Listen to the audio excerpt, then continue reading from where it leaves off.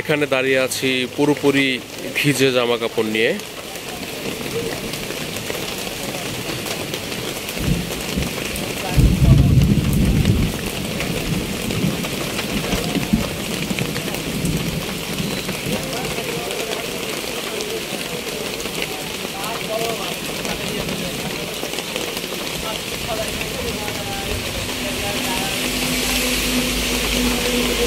Thank you.